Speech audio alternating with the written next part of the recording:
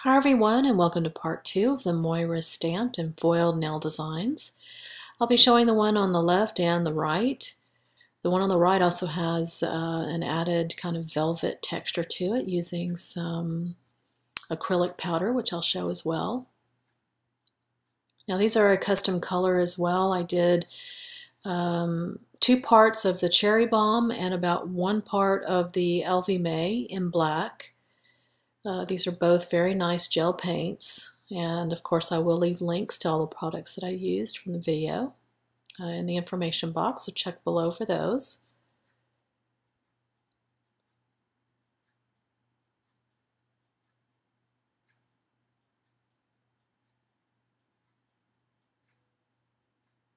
So once we get our custom blend, We'll go ahead and apply two coats onto the nail and cure those. I am using my Crystal Nails Extreme Gel application brush for this. Very nice brush as well. And now we're ready for our matte top coat. One coat here, cure for 60 seconds for the best matte finish. And now we're ready to stamp. We'll use our damask drapery plate from Moyra and that image right there. To stamp, I'm using Sally Hansen Salon Manicure Polish. Uh, this is in Commander in Chic. It's a beautiful tone-on-tone -tone taupe color. It's going to give a subtle uh, look to fabric look to our nail here.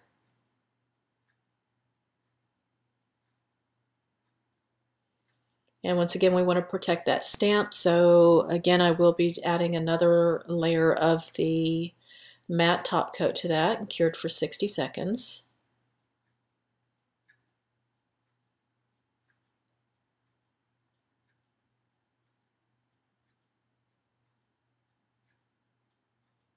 All right, now we're ready to use our foil gel in black from Moyra. And once again, I have some on my tile there. For this one, it was simply um, outlining the nail and then coming through with some abstract kind of lines and circles um, around the center area. Again, there's no need to apply a thick layer of this uh, black foil gel. Fine lines foil almost perfectly especially using the Moyra foil. And if you use too much black, you could run the risk of it not curing completely all the way through the layer. Uh, that happened to me once where I did not, or it, after I cured and then I pressed the foil into it, it had a little bit of excess uh, uncured gel kind of squish out, and you don't want that. That kind of ruined the design.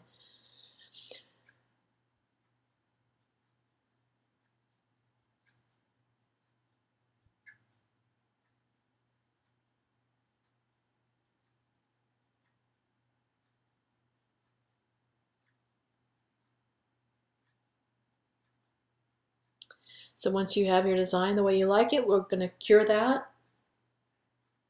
Again, um, this Moyra gel likes about a 60 to 90 second cure in the lamp. And then I let it sit for about a minute outside the lamp before I foil. And so I just cut off a little bit of that magic foil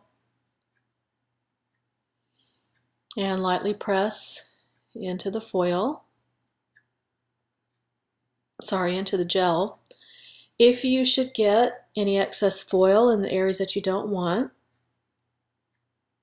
again, all you need to do is take a little bit of uh, acetone and a brush to clean up those areas. Just be sure that you blot the uh, brush because you don't want that to flood any areas and flood into the other foil and that will result in the foil hazing and that just doesn't look good. So you can leave that like it is, but for everyday use, you might want to protect that. You can use a coat of, uh, go over the foil with a coat of uh, no wipe top coat, or you could put a coat of matte over it. Now for the second nail, we'll be using Florality 2, and I'll be using the uh, leaf image right here. So again, on this nail, we have two coats cured of the base color and then one coat of the matte top coat. And I'll be stamping with Sally Hansen Insta-Dri Slick Slate. These are a wonderful line of, uh, the Insta-Dris are a wonderful line of uh, one coat uh, fast dry polishes.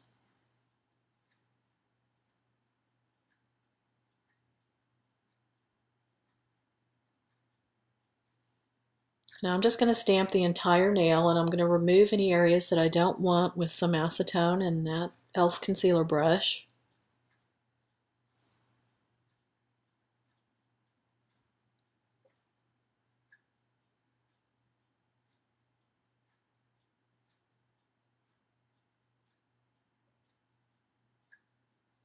Now we're going to take off, in this case I'm going to leave the center area with the leaf design. We're going to remove the top and bottom areas.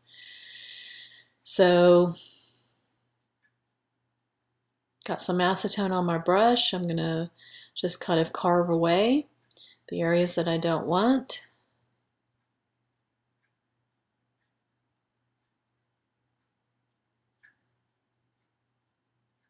Now, if you should mess up and remove too much or don't like what you've done, you can take off the rest of the stamp with a little bit of acetone and restamp it and start over again.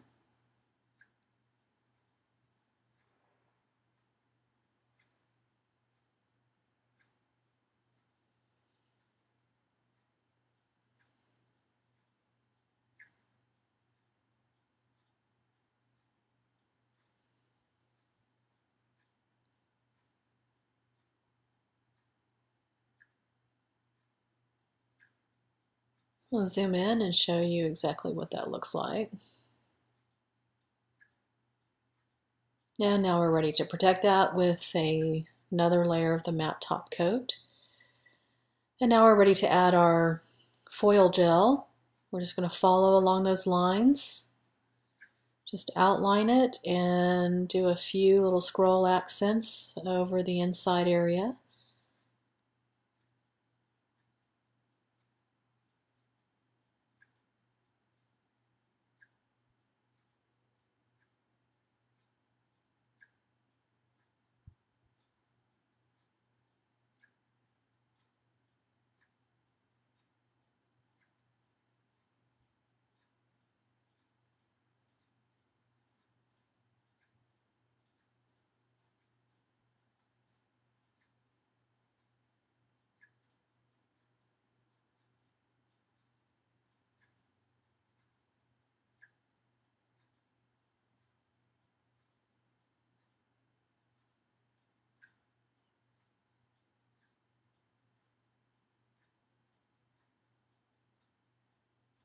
And now we're ready to apply our foil after curing. Once again, 60 to 90 second cure, let sit for about a minute and then apply your foil.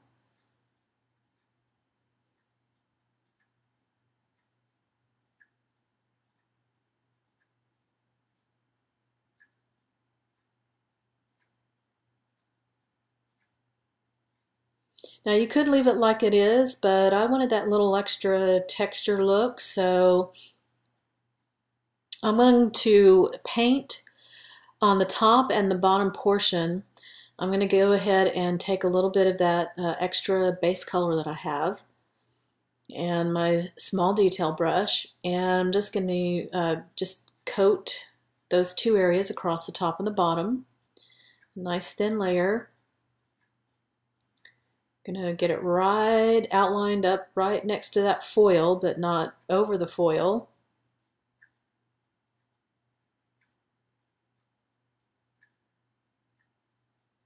Once you get those areas completely covered, we're not going to cure this. I'm going to take some clear acrylic powder and we're just going to sprinkle that acrylic powder into our uncured gel.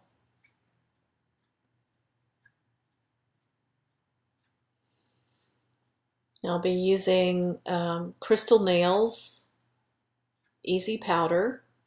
This is a wonderful fine milled clear powder. And you're simply going to sprinkle that into your brown gel. Once you get a good coat on there to where it's not shiny any longer, you're ready to go ahead and cure that. Don't worry about the excess powder. We'll remove that with a brush. So just lightly brush off any excess powder and lightly remove from the center area as well. Now again, to protect this, you can go over the foil with some no wipe top coat or you can use your matte top coat over everything to protect it.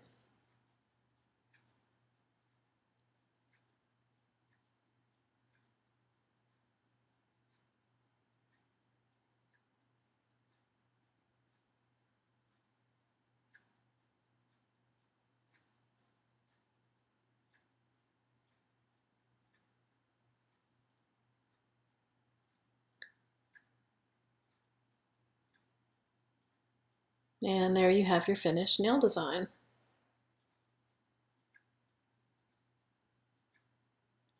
Now if you choose to use the matte top coat, I'll show you what it looks like uh, over a stamped and uh, nail design and one that I just did over a plain matte finish. So the one on the left is, is foiled with the matte top coat. The other is stamped and foiled with the matte top coat over it. And as you can see, it still has a nice effect, just not quite as shiny as if you used a no wipe over it. And again, just some other designs that I did. That's a Dashika stamp on there uh, on the left that I traced over. The other three have Moyra stamps on them with some hand-drawn accents and again foiled over. So the possibilities really are endless with this. So I hope you guys have enjoyed the tutorial. If you have any questions or comments for me, go ahead and leave them down at the bottom. I'll get to you as soon as I can. As always, I do appreciate everyone's support, and until next time, I will see you guys later.